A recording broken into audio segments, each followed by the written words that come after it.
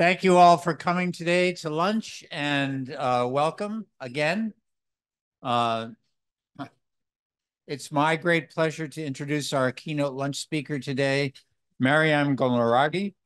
Uh, she is the uh, Director of Climate Change and Environment at the Geneva Association.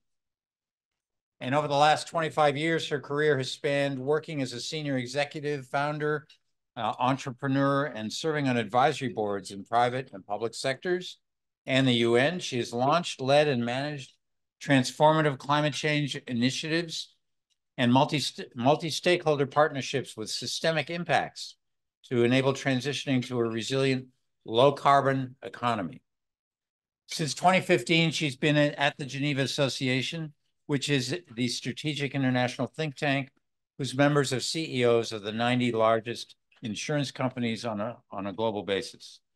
Uh, working with corporate boards and CEOs, regulatory and standard setting bodies, fintech and insurtech firms, governments and policymakers, just about everybody. She leads strategic initiatives to innovate and scale up insurance industry's contributions as risk managers and investors to transi transitioning to a lower carbon economy. And her work is focused on the things that she's going to talk about today. So Maryam, thanks thank very much for being here. Thank you. Welcome. Thank you very much. And thank you for the invitation. You know, I always feel very uncomfortable to break, to, you know, come in between your lunch, but uh, maybe I can inspire some thinking that's going to take you forward in your career. Let me uh, show you. Um, I think I need to know how to move. Okay. Do, I do it that way? Oh, perfect. Okay, this is the Board of Geneva Association. And don't worry, don't worry. We are we are we are get we are getting more women. We just had two ladies, two ladies that one retired and one uh, decided to leave. So, but here I want to raise your attention. Currently filling two board seats, and they are women. So, uh, Geneva Association is a very interesting entity. Uh, by nature of directly working with the CEOs, I have a lot of power in terms of mobilizing, activating, inspiring highly strategic areas that no individual company can make a difference, but this industry as a force can make a difference. So the way I run my projects is by bringing the industry together to collaborate and also build extensive cross-sectoral partnerships to work on issues that um, you know, we foresee, we are forward looking in the next five to 10 years are going to be foundational in the way this industry will play a role. And my, my space obviously is building a more resilient economy and, and, and decarbonization. Let me give you a flavor of like what I'm talking about.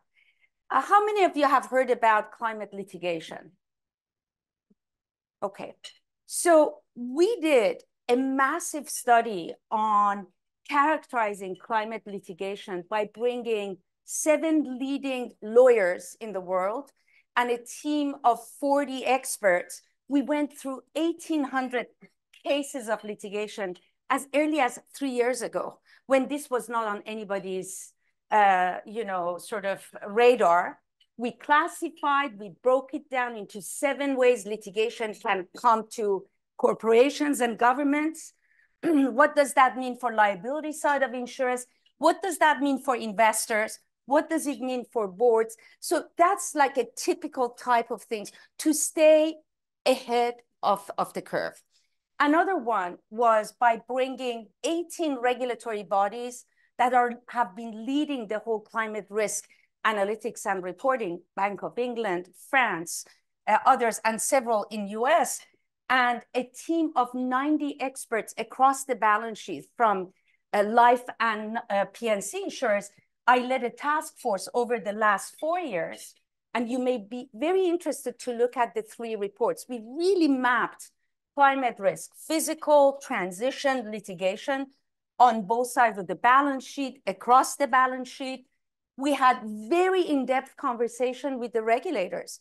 The, uh, and our position was doing single scenario or limited scenario deterministic analysis of climate risk on an element of balance sheet can only be misleading and resource intensive. We need to rethink climate risk assessment so that it produces decision useful information for the companies to steer in this highly uncertain uh, environment and produce decision useful information for the regulators. For, so we've asked regulators, what is your regulatory objective? Reporting for sake of reporting is not good enough.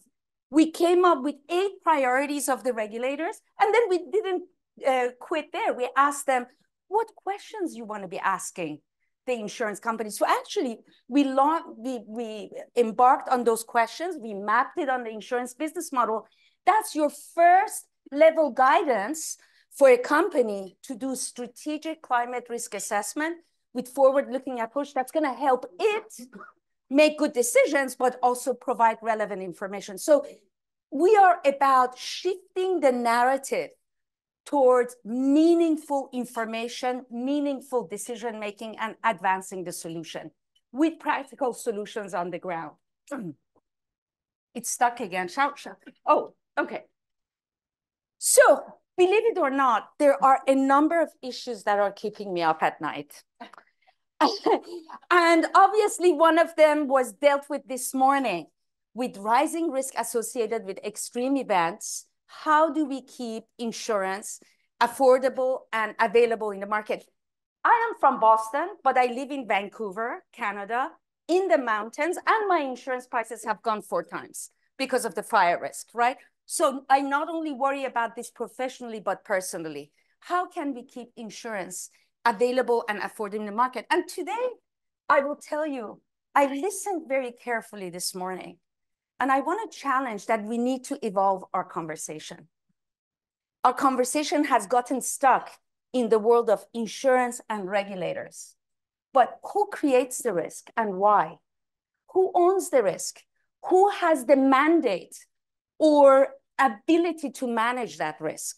because ultimately insurance is about transferring the residual risk. And this residual risk is going up for reasons I will get. So I want to talk to you about that because that's going to be the next initiative I'm going to launch in May. And by the way, I love to talk to the lady from Colombia. You're doing outstanding. And I'm talking to Ishita next week. Amazing.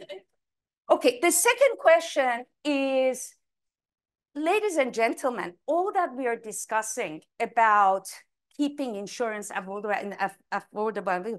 If we do not implement climate mitigation, cost of adaptation is prohibitive. So the second question that I'm pondering is, can I get that incredible force, 24 trillions of asset under management, more than two thirds of commercial insurance market, that's my membership, to help expedite unlocking financing and expedite market readiness of all these new technologies, green hydrogen, carbon removal storage, sustainable aviation, all these good stuff that we want, we need to transition the energy. Can we expedite that? Because at the end, climate change is an issue of urgency and scale.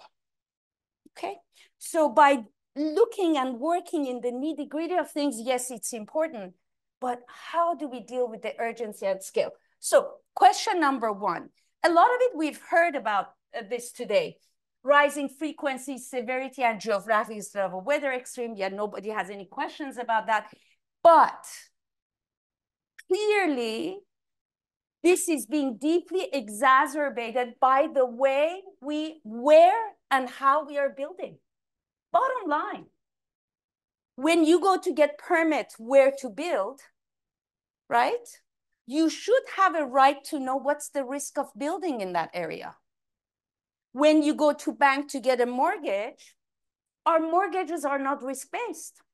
Whether you live on the coast or whether you live away the coast, you get the same mortgage. It's all about what the interest rates are, right?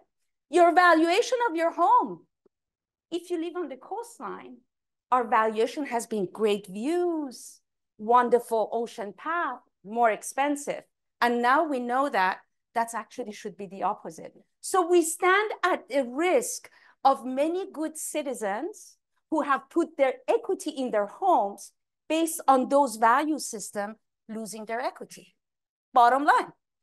So it's really the way we have concentrated people and their assets in high risk zone. But you know, it's you know, flooding just doesn't happen because you live by the ocean or by the river. It can happen in your city because of the way we are urbanizing, the way we are developing, our aging infrastructure, connection of supply chains, inflation. Those are really the things that are exacerbating that residual risk that we are asking insurers to transfer. Now, we know insurance losses are going up. We heard about that. I'm not going to go into it. Uh, economic losses are by far more than insurance losses. On average, insurance losses are about a third of economic losses, right? So is, and, and it's growing, right? Because we heard today that insurers are not profitable delivering their services in certain states. We, we heard many reasons, but economic losses are going up. And in the absence of, now let's start using a risk reduction, reducing risk of what we've built and preventing how we are going to build forward, right? Some risk may not be insurable and it's going to require a different intervention, right? We need to shift our paradigm and really bring it to the focus of what risks how we can manage it, and how we can transfer it. Now, the worst part of it is if we don't move fast, cost of all this adaptation that we need to do today, it's going to be prohibitive. Okay, so we cannot do, uh, you know, adaptation without mitigation. Yes, should I just, I'll, I'll just do it. Uh, here we go. Yes. Okay, let me ask, add more complexity, things that I haven't all day today, we've talked about direct risk. You know, the extreme event happens and it causes damage and disruption, you know, so direct loss. Um, we haven't talked about other things. So first, let me talk about physical transition and litigation risk. You've heard about these terms before. I don't need to go. Has anybody not heard about physical transition and litigation risk in context of climate? Great. So let me look, tell you how this is going to work. Few days ago, I got a call from US Department of Energy. You know that our country is putting nearly 1 trillion of subsidies into deployment of climate technologies for industrial, expediting our industrial decarbonization. The question was, we are deploying 3 billion in building solar plants in Puerto Rico, but we cannot attract enough insurance capacity. Part of it has to do with the fact of how these projects are being designed. What kind of equipment are being applied to build the, to, to, to build the project? How are we actually building the project to make sure that the solar plant is protected against flood on one hand, but hail on the other, right? And by designing these projects with the right equipment and with the right build, the projects are going to be a lot more expensive. And developers want to keep the cost of these projects down so that they can apply for financing, but then they hit the insurers because financing will not be available without insurance. And this is becoming a serious problem. So I'm, I'm trying to give you, so that is where transition risk can be hindered because of physical risk and not being able to manage it. And, you know, a lot of the cases of litigation that's coming against corporations and governments are because lack of management of physical climate risk. Um, direct indirect compounding. Um, somebody asked about extreme heat this morning. I can't remember who it was, but let me give you how this works. So I worked in my life on development of heat health early warnings. The French heat health early warnings, we build it in the EU, and that has saved lives, right? But when you have extreme heat, let's remember the 2022 um, uh, uh, heat waves in, in Europe. Uh, because of the heat waves, um, the temperature of the rivers was risen. On the other hand, because of the heat waves, the, the level of river, rivers were lowered. Now, when you look at a country like France, which is run by nuclear power, right? They couldn't cool their nuclear plants, and also they couldn't produce enough uh, hydroelectric power. And as a result, a country that is a, a, a, a, a producing country of energy started to import energy, right? A lot of disruptions in business. So we not only have the direct, but we have the indirect risk. Whenever it, an infrastructure is damaged, that has massive amount of impact on economic development and then compounding risk. The same year, half of the fleet of nuclear was down because of technological risk. So all of a sudden, Europe is faced with a serious energy crisis, which was exacerbated by the Ukraine-Russian war. And all of a sudden, we are in a reaction to that. So what I'm trying to say is our view of risk has been quite limited. The models that we have developed, and I spent a lot of my career in doing NatCat modeling and, and rethinking about development of those models. Those are great tools, but we need to go further. We were talking about forward-looking climate risk analytics. And, and um, you know, that's where we need to go. And, you know, when we talk about data, I spend a lot of my time mentoring climate risk analytics firm, the up and coming. And I would say we are on the verge of a breakthrough to do forward-looking stochastic climate risk modeling. That's a whole new lecture, a new topic. I will cover that another time. But I just wanted to make sure that, um, you know, the data issue is being dealt with uh, extensively and so on. But one thing I wanted to tell you is I'm launching a major initiative around that question, how to keep insurance affordable and available. And I'm going to be taking a system-based approach. We really need to look at the system. If I'm taking housing, for housing, we need to see how we are getting permits, where we are getting permits, what are the rules for building, so that brings the local and the state government in, right? Then we need to look at the valuation of the home, the mortgage of the home. These are the long-term issues.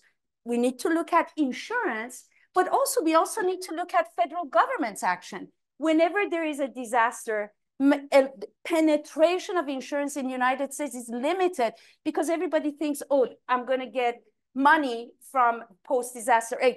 We need to reform those programs to become more proactive. So it's going to look at a system-based approach. I think my colleague from Swiss Re talked about risk-based premiums. The price of insurance is a reflection of amount of risk that we need to manage.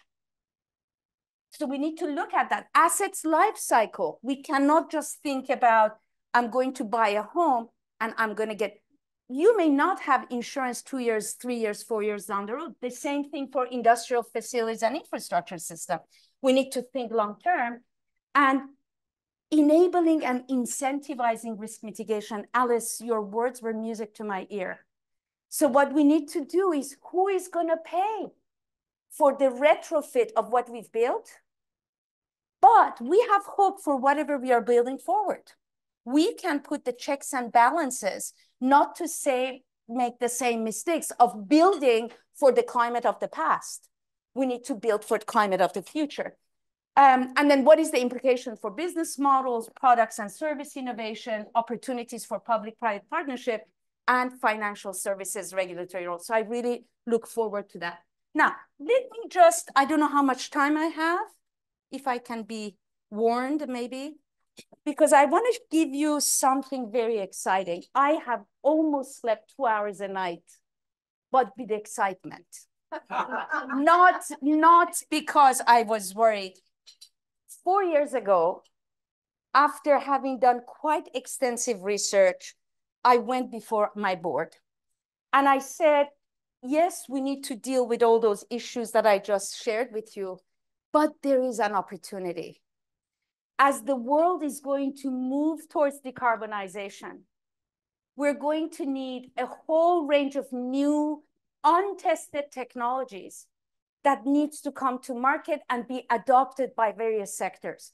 Are you ready? Because without insurance, no insurance, no finance, no project, no decarbonization. Are we ready? Assessing insurability conditions of new technologies takes time, right? So uh, I built a massive partnership, including 12 largest insurance insurance companies, three managing general agents.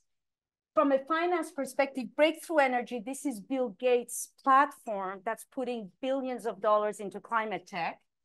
HSBC, US Department of Energy, across the department, um, one of the leading engineering firms and Mission Possible Partnership. It's a, uh, it's an a, a platform that was established by WEF and Rocky Mountain Institute. Now it's independent that has all the corporations from key sectors.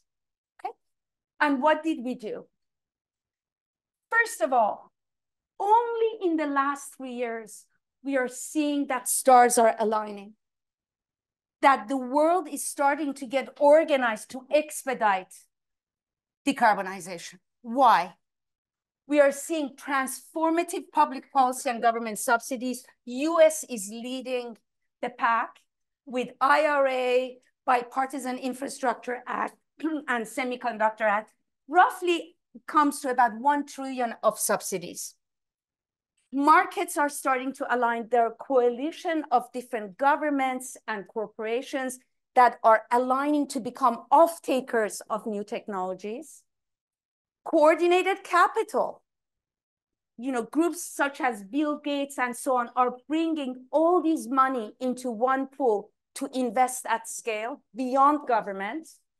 Obviously, sustainable finance and reporting tools that is going to enable institutional investors that traditionally invest in later stages to get organized, pension funds, insurance companies, long asset managers, massive development innovation technology, and the most, and then shifting geopolitics of energy following what happened in the summer of 2022 in Europe, all of a sudden you saw country after country, starting with United States, issuing what's called their national strategy for special materials that are needed for development of green tech.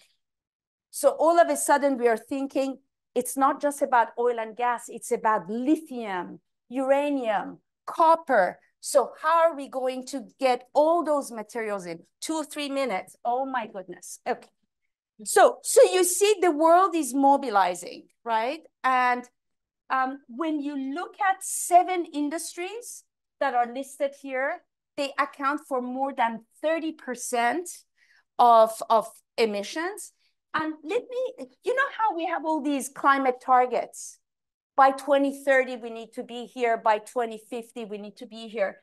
If we are going to have any luck at scaling up decarbonization, these are examples of what needs to happen in these industries.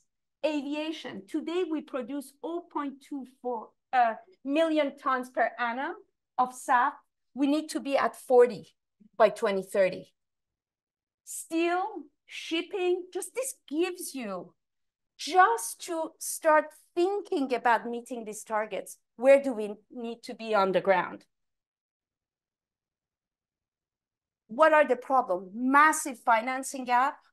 This project, the first of a kind project is costing about 30, 40, 50, 100 million dollars for a green hydrogen plant, right?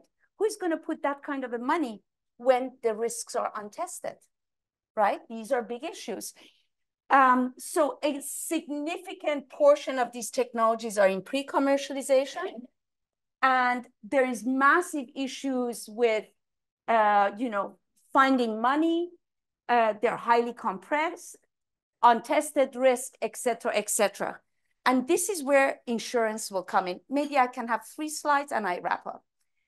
Um, ladies and gentlemen, it took 40 years for solar to become cost effective. And even today, solar energy has not realized its market potential. We don't have 40 years, do we? right? So the question becomes, how are we going to bring all these other technologies to market, right? If it took, because this really was developed based on the old way of commercializing technology.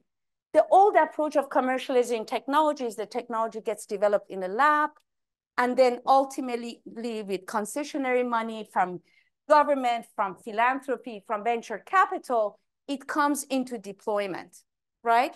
Ultimately, insurers get involved after the technological risks are understood in later stages because the risks are understood, they start looking into what the risks are, what kind of products, they put the products together, and they start supporting, they start taking parts of this risk pool. That's how it has happened in the past.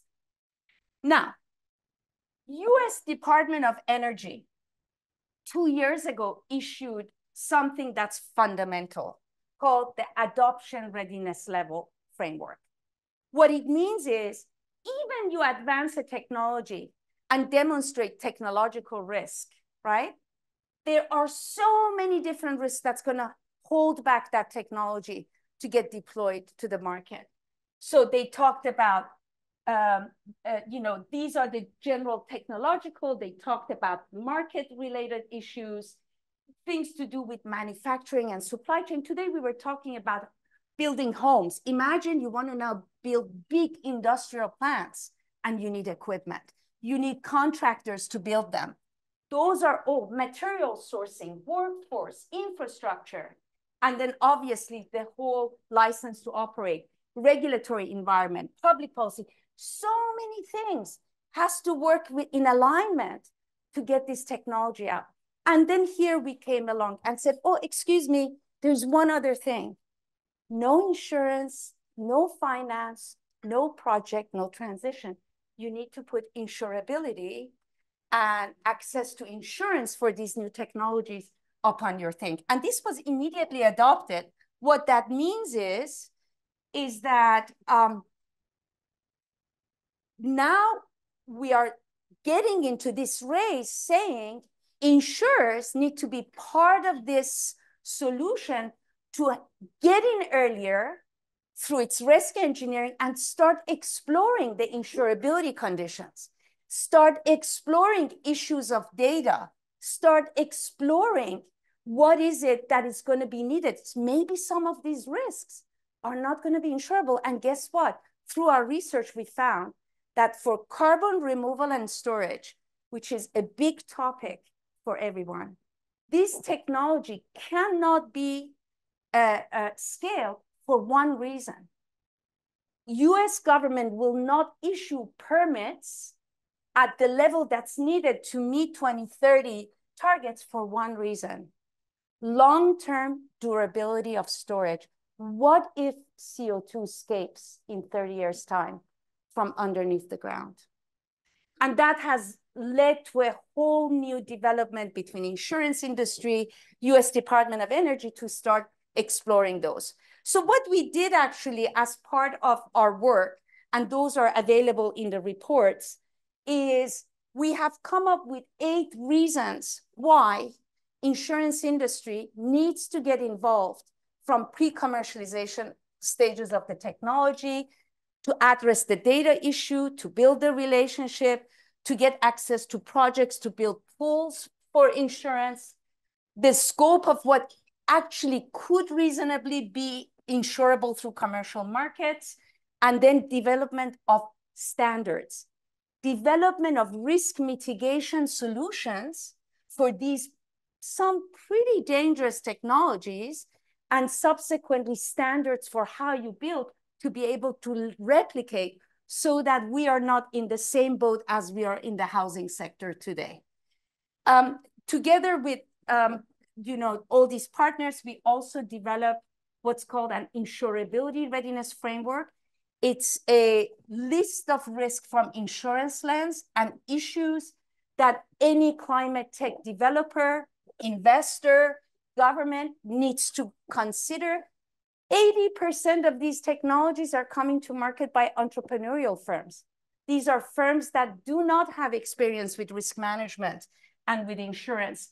And um, with that, I would say um, we still have some challenges. I'm uh, launching phase two of the project. Um, you can all get access to, to my presentation, but I will end with this. Um, you know, if I were to summarize my career, my career is around building trust across entities that traditionally have not thought about or for some reason have not worked together that must be working together to find the solutions. I would say, you know, I'm super specialized. We are all super specialized. We are living the world of last century where to solve problems, we broke it up into pieces and then each of us started becoming specialized in each piece. And now we realize that tackling the biggest issue is going to be at interfaces of our disciplines. So my thought is we need to rewire on our own heads.